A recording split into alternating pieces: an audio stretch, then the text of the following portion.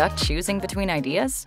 Miro's voting tool makes decision making a breeze, perfect for team brainstorming or workshops. This is how it works.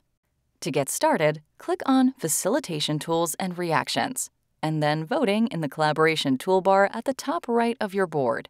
This opens the voting panel. Set the voting area for the objects you want participants to vote on, like sticky notes or text boxes. Decide how many votes each participant gets.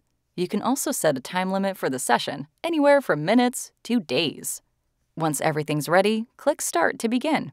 Participants will see a pop up letting them know it's time to vote. Votes are anonymous, and participants can adjust their votes anytime during the session.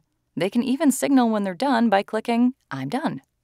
As the facilitator, you can monitor progress, add extra time, or end the session early. Simple, right? If you want to keep it even simpler, you can go to the left toolbar, click plus, and look for Dot Voting. This way, people can vote just by dragging the dots. When the session ends, everyone can see the top results, and you can keep them visible on the board for reference.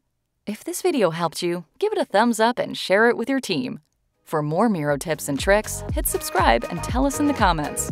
How will you use the voting tool? We'd love to hear.